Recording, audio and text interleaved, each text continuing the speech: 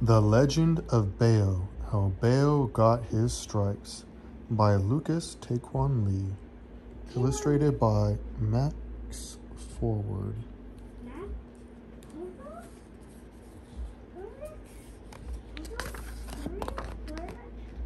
2007 by Lucas Taquan Lee. For generations there was peace between the tigers and the jackals in Songam jungle. The law of the jungle said the tigers must live in the highlands and the jackals must live in the lowlands. The leadership and hierarchy of tigers was dictated by the number of stripes on their coat. The three striped tigers were at the top of the chain and ruled the jungle for generations. After them, there were the two striped tigers, then the one striped tigers. The lowest class were the tigers without any stripes. They lived in the middle lands, just above the jackals. Baeoh was born with no stripes.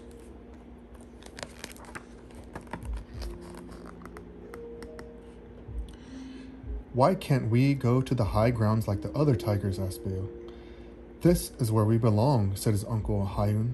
But what makes the three striped tigers better than us? asked Baeoh. Destiny, answered his uncle. We are destined to serve the three striped tigers.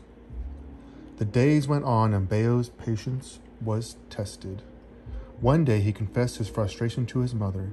I respect the law, but I do not accept that it is our destiny to be peasants.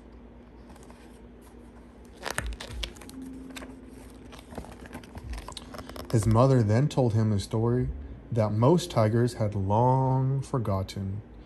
Thousands of years ago, when tigers and jackals were at war, there was a tiger who had no stripes but overcame his hardships with confidence, courage, and leadership. His bravery and skills were greater than even the three striped tigers. One day he leaped in the air to defend some of his fellow tigers, and a miraculous thing happened. He began to fly. The battle stopped, and all the tigers and jackals froze in disbelief. From then on, the flying tiger became a leader in the jungle and brought peace to the land. How did the tiger fly? asked Baeoh. He didn't even have any stripes. He had the courage to believe he could achieve more than society told him, his mother replied. The courage to believe he could achieve more than the society told him.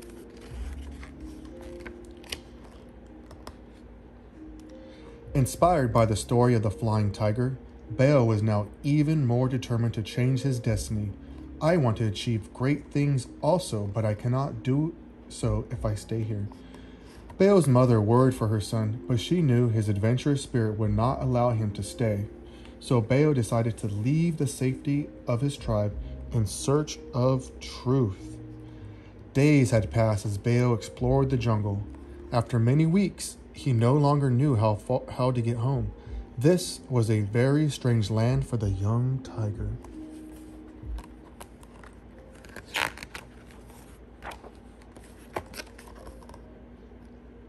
All of a sudden, a pack of jackals surrounded Baeoh. With their teeth snarling, they drew closer and attacked. But just as he thought the end was coming, the snarling turned into whimpering. He opened his eyes, and the jackals had disappeared. An old tiger named Jangsu stood before him. What are you doing out here? Jangsu asked. Don't you know the dangers of the jungle? All my life, I have been told I cannot achieve anything great, Baeoh said, but I believed that in the jungle I could change my destiny.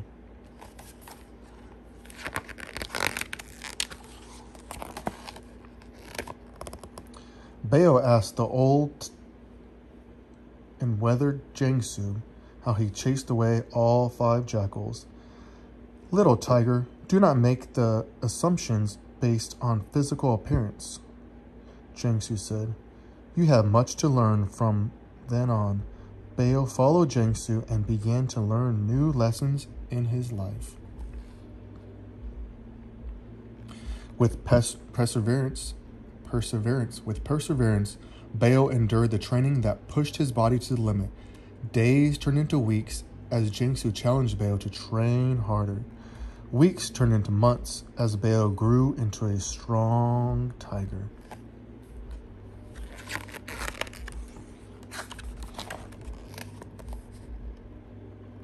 Then, after a long day of grueling exercises, they stood in front of a mighty river. Jangsu instructed Baeoh to jump across the entire river in one leap. The river is at least 20 times the length of my body, worried Baeoh. If I fall, the strength of the river might sweep me away. You must try your best, said Jangsu. With doubt, Baeoh jumped as far as he could, but he fell before even making it halfway across. Panicked, he swam back to the shore, coughing and sputtering.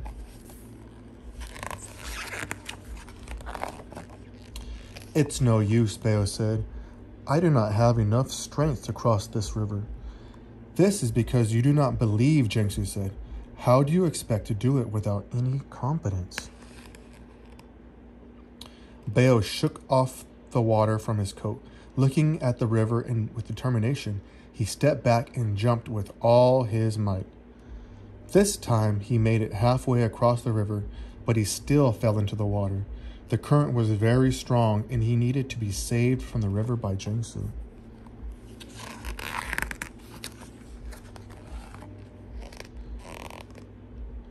We both know I am not strong enough, said Baeoh. After all, I am a lowly peasant tiger. Besides, how will jumping over the river help me become a leader? Little tiger, in this jungle you will be tested by things much more dangerous than a river, answered Jangsu. It is now time to allow your courage to find your nobility.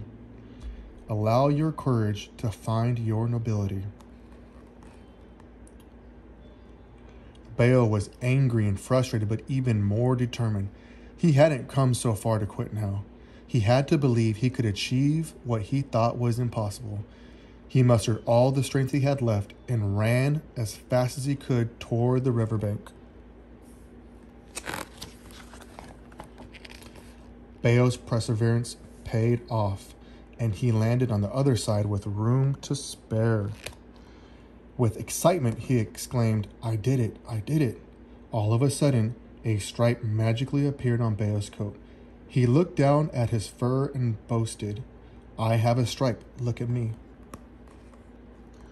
Suddenly, Jangsu appeared next to him and said, Baeoh, you must remain confident, yet also humble. But how did I get this stripe on my coat? asked Baeoh. All my life I have been powerless and without a stripe. Now I have enough strength to leap a river and I have a stripe. Jangsu reminded him, It is not how powerful you are that is important. It is how you choose to apply the, your power that truly makes you great. It is not how powerful you are that is important. It is how you choose to apply your power that truly makes you great. Then they heard snarling sounds from the other side of the river. A very weak and injured tiger was trying to fend off four jackals. Remember, your strength has been tested, Jangsu said. Now you must choose how to use it. A jackal pounced on top of the weak tiger and drew his deadly teeth close. Without time to think, Baeoh leaped across the river, this time with ease. The jackals quickly turned their fighting snarls toward Baeoh. In one pounce, Baeoh had all four jackals pinned. You should not pick on the weak because you never know who stands behind him, roared Baeoh. As he drew his jaws closer, he heard the wise voice of Jangsu. Power should never be used to harm those weaker than you. Baeoh then set the jackals free, and they quickly disappeared, whimpering into the jungle. Weak Tiger stood up and bowed his head to Bayo and said, Thank you. I thought my life was doomed, but I have been saved by a two striped tiger. Baeoh looked down, and to his surprise, he did not see just one stripe anymore, but two.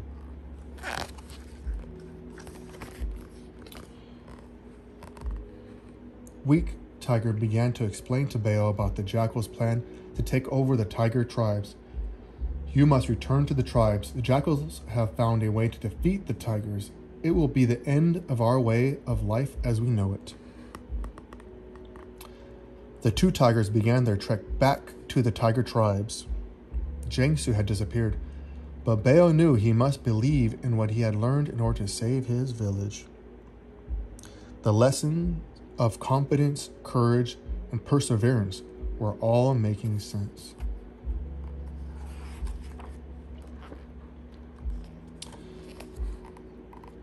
Days had passed, and the two tigers finally arrived at the tribes. Every tiger was astonished upon seeing Baeoh, especially his proud mother. She said tearfully, Son, I cannot believe you are standing in front of me. How did you get these stripes on your coat? Baeoh replied, Mother, thank you for helping me see that I can achieve so much in my life. I have learned that with courage I can accomplish things I did not think were possible. Weak Tiger suddenly declared with urgency, I have been trying to tell this to the elders. The Jackal's revolt is coming. The three striped tigers are away at the top of the hill and do not care about us. Baeoh must save the tribes.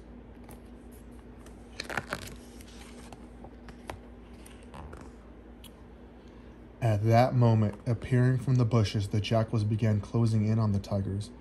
The jackals' revolt had begun. The leader of the jackals came forward and said, Tigers, for generations you have repressed us. We have always lived in your shadow. From this day on, you must live under our laws. All the tigers bowed down to the jackal leader except Baeoh, who remained confident and stood tall. Seeing this, the jackal leader snarled, Foolish tiger, do you wish to be the sacrifice for your tribes? Baeoh replied calmly, The greatest power I have is not the strength to attack, it is the power to choose right from wrong and the choice to teach others the same.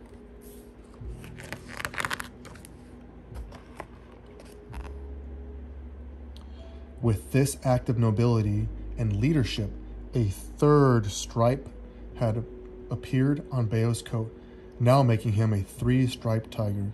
Seeing this, the other tigers became emboldened and declared, Baeoh has three stripes. We can now defeat the jackals once and for all and rule the jungle forever. But to everyone's surprise, Baeoh stood between the tigers and the jackals and said, We will not attack the jackals just to show that we are more powerful than they are. The greatest leadership is to use our strength to help those weaker than ourselves. We must learn to live with the jackals in harmony. If we share our leadership with them, their strength will help us just as our strength will help them. Our destiny is not bound by birth, it is only bound by honor, courage, respect, nobility, and leadership. Our destiny is not bound by birth, it is only bound by honor, courage, respect, nobility, and leadership.